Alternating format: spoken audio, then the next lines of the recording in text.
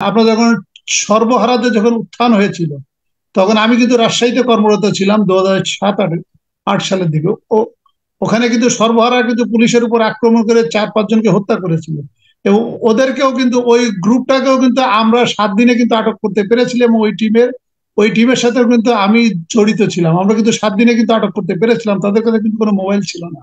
কিন্তু তাহলে কীভাবে আটক করেছিলাম? সেভাবে আটক করেছিলাম যে তাদের কাছে মোবাইল না থাকলেও তারা কিন্তু কোনো না কোনো ফর্মে তাদের আত্মীয় স্বজন বা নিকটতম লোকজনের সাথে কথা বলে, রাজনৈতিক নেতৃবৃন্দদের সাথে কথা বলে।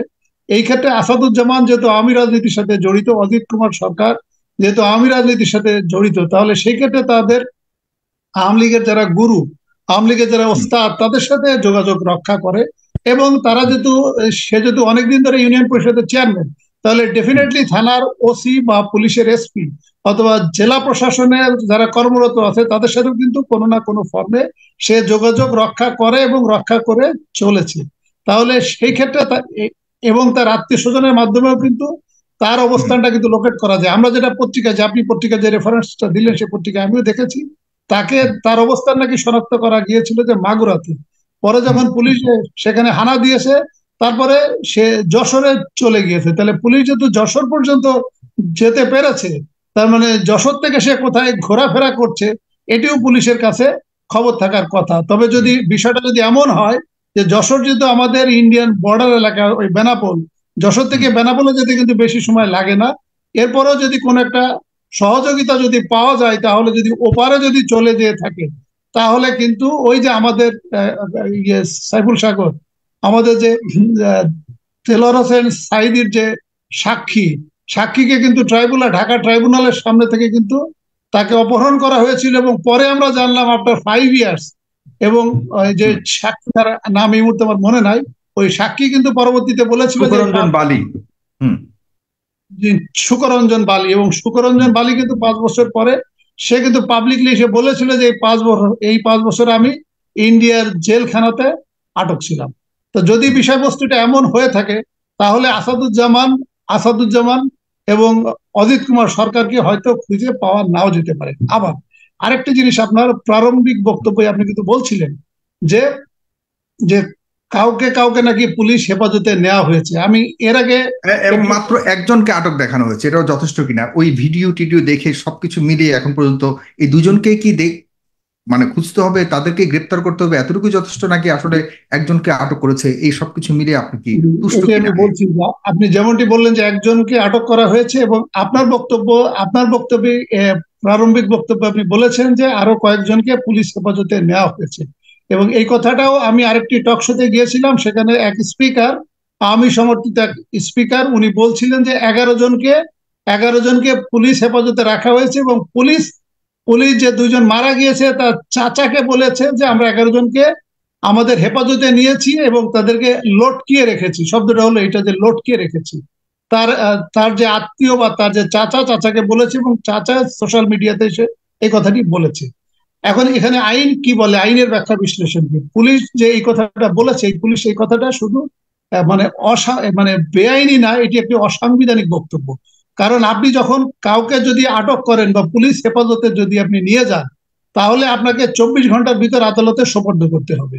এটি হচ্ছে এক। দুই হচ্ছে যে তার আত্মীয় স্বজন বা তার যদি কোনো লয়ারের সাথে সে পরামর্শ করতে চায় তাকে পরামর্শ করতে দিতে হবে। এবং তাকে আমাদের যে কোড অফ প্রসিজিওর এটা তাকে তাকে কনসাল্ট করার সুযোগ দিতে হবে এবং তাকে কি কারণে আটক করা হয়েছে সেটাও তাকে বলতে হবে।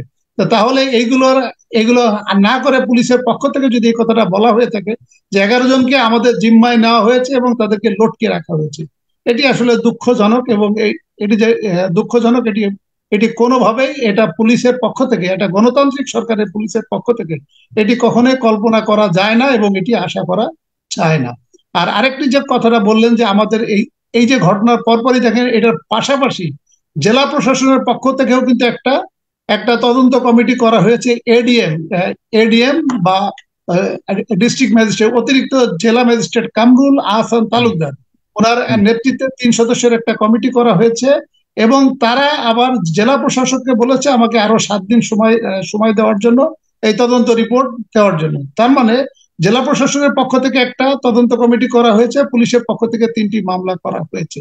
আমি একজন সাবেক পুলিশ কর্মকর্তা এবং আমার আঠাশ বছরের ইনভেস্টিগেশনের অভিজ্ঞতা থেকে আমি যেটা বলতে চাই যে এটি পুলিশের পক্ষ থেকে পর্যাপ্ত পর্যাপ্ত তদন্তের অগ্রগতি নাই কারণ এরকম একটা আচ্ছা। ঘটনা যেখানে ভিডিওতে কারা এই ঘটনা ঘটেছে কারা পিটিয়েছে কারা নেতৃত্ব দিয়েছে এই তাদের আপনি একজনকেও আটক করতে পারবেন না মাত্র একজনকে আটক করবেন আর আপনি বলবেন যে আমরা এগারো জনকে লটকে রেখেছি অথবা আমাদের হেফাজতে হেফাজতে রেখেছি এই কথাটি সঠিক নয়। আর জেলা প্রশাসনের পক্ষ থেকে যে বক্তব্য সবকিছু নিয়ে এর পেছনে কোনো অন্য কোনো কারণ দেখেন কিনা? মানে এখানে এই অবহেলা বলুন এই যা করা উচিত ছিল তা করতে না পারার পেছনে অন্য কোনো রাজনৈতিক কারণ দেখেন কিনা বা অন্য কোনো কারণ দেখেন কিনা? ছোট্ট করে এক মিনিট শেষ করতে জি এখানে এখানে যদি এখানে যদি পুলিশের যে পুলিশের যে অগ্রগতি তাতে দেখে মনে হচ্ছে যে পুলিশকে যারা পরিচালনা করছে এদের হয়তো কোনো ইনভলভমেন্ট থাকতে পারে। তবে আপনি ওই মোটা দাগে যদি আমি বলি আমার যেটা ধারণা যে মানে আঠারোই এপ্রিল যেহেতু ঘটনাটা ঘটেছে, আমাদের ওই সময় কিন্তু উপজেলা নির্বাচনে মন্ত্রী মিনিস্টার এমপি তাদের আত্মীয় স্বজনকে নিয়ে সরকার একটু বিব্রত ছিল। ইভেন প্রধানমন্ত্রীর পক্ষ থেকেও কিন্তু বলা হয়েছিল যে এমপি মন্ত্রী মিনিস্টার তাদের আত্মীয় স্বজন উপজেলা নির্বাচনে যোগ দিতে পারবে না। যদিও প্রধানমন্ত্রীর এই বক্তব্য ছিল বেআইনি এবং অসাংবিধানিক। তার প্রধানমন্ত্রী কখনোই এই ধরনের বক্তব্য দিতে পারেন না, যেটা বেআইনি এবং অসাংবিধানিক। কারণ উনিও প্রধানমন্ত্রীর প্রধানমন্ত্রী নির্বাচন করার সময় ওনার আত্মীয় স্বজন কমপক্ষে পঁয়তাল্লিশ থেকে পঞ্চাশ জন বিভিন্ন এমপি, মন্ত্রী এবং বিভিন্ন পদমর্যাদায় তারা কিন্তু দায়িত্ব নিয়েছে। আবার একইভাবে একইভাবে আঠারোই আঠারোই এপ্রিল, আঠারোই, না, আঠারো না, উনিশে এপ্রিল আমাদের পার্শ্ববর্তী দেশ ভারতের কিন্তু লোকসভা নির্বাচনের প্রথম ধাপের নির্বাচন শুরু হয়েছিল। এই ক্ষেত্রে আমাদের আমাদের বাংলাদেশের সাথে কম বেশি কম বেশি এগারোটি রাজ্যের সংশ্লিষ্টতা আছে। উত্তরে সিকিম, পূর্বে সাতটি রাজ্য, পশ্চিমে ওয়েস্ট বেঙ্গল, বিহার, উড়িষ্যা। এবং এই এই এই এগারোটি রাজ্যে কম বেশি কিন্তু বাঙালি বা বাঙালি বা বাংলা ভাষায় কথা বলে, এরা কিন্তু আছে।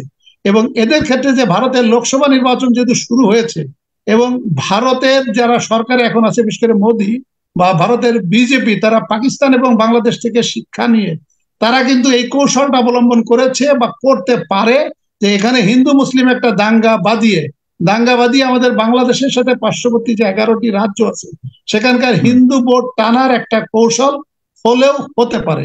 আর আরেকটা হচ্ছে যে আমাদের যে উপজেলা নির্বাচন, এই উপজেলা নির্বাচনের অ্যাটেনশনটাও একটু ডাইভার্টও হলো, এক ঢিলে এক ঢিলে মানে এক ঢিলে দুই পাখি মারাও হতে পারে। কারণ ভারত যেহেতু বাংলাদেশ বা ওই যে ভারত যেহেতু আমলিগকে একটা অবৈধ বা অসাংবিধানিক প্রক্রিয়ার মাধ্যমে পনেরো বছর ধরে ক্ষমতায় রেখেছে এখন ভারতের প্রতিহত বাংলাদেশের একটা প্রতিদান থাকতে হবে।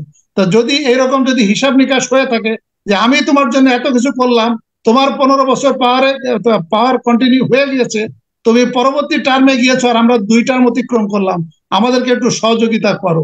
সেই সহযোগিতার অংশ হিসেবে এটি হতে পারে কিনা সেটি হয়তো বিচার বিশ্লেষণ করলে হয়তো বোঝা যাবে কিন্তু আমি বলব না যে এটা ইনভেস্টিগেশন করলে বোঝা যাবে। কারণ ইনভেস্টিগেশনটা নিয়ন্ত্রণ ইনভেস্টিগেশনটা নিয়ন্ত্রণ করছে সুপারভাইজ করছে সরকার তারা নিজেরাই। এবং সরকার যদি এর সাথে জড়িত থাকে তাহলে আপনি ইনভেস্টিগেশনে আমি যে ব্যাখ্যা বিশ্লেষণ দিলাম ধন্যবাদ।